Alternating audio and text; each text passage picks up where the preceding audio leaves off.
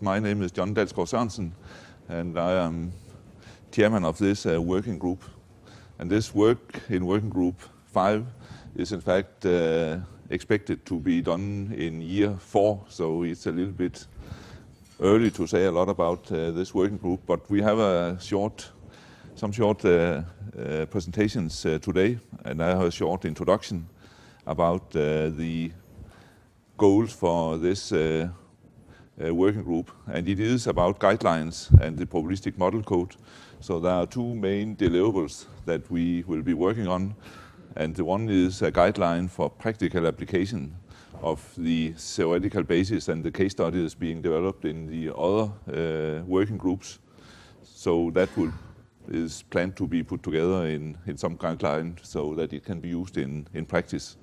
And it is also to uh, formulate a chapter for the probabilistic model code in the uh, Joint Committee Structural Safety, uh, PMC. So that's also an important uh, aspect of this working group to formulate that, and of course on, on basis of what is developed in the other working groups.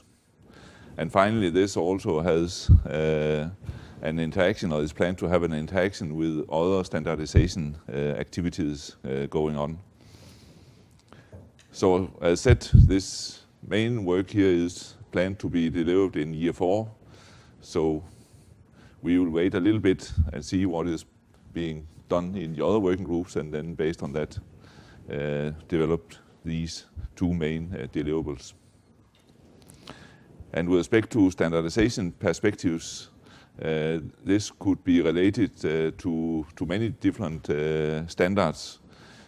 So as I understand, there is some standardization activities going on, especially within uh, structural health monitoring related to uh, fatigue. And of course, that's an important interaction to, to be uh, considered. There is the probabilistic model code in in the Joint Committee Structural Safety, which is important. And then there are other uh, standards that could be relevant to also to have interaction with, where semi-probabilistic implementations they are they are being made, and that's uh, the Eurocodes, which are now under revision, and then revision is expected to be finished in around 2020.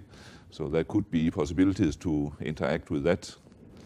There is the ISO standards, ISO 2394, which has just been revised and published uh, a few months ago, which is also a good basis for what we are doing in this uh, cost action.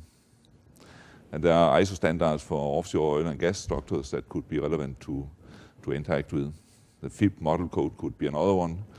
And there are also uh, standards for wind turbines that could be, I think, a very good example for application of these structural health monitoring things. And there are some of the standards within this IEC 61400 series, which are directly on condition monitoring and aspects that are quite close to structural health monitoring.